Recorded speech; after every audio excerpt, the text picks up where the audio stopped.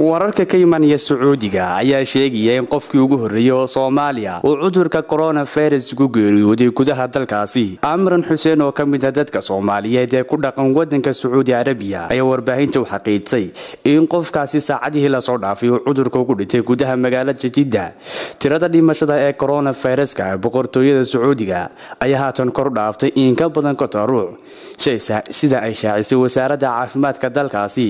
Sidoo kale wasaaradda ayaa tirada guud ee dadka uu soo waratay xanuuntaasi ku sheegtay qof. Halka ruuxna ay sheegtay inay ka caafimaadeen xanuunkaasi.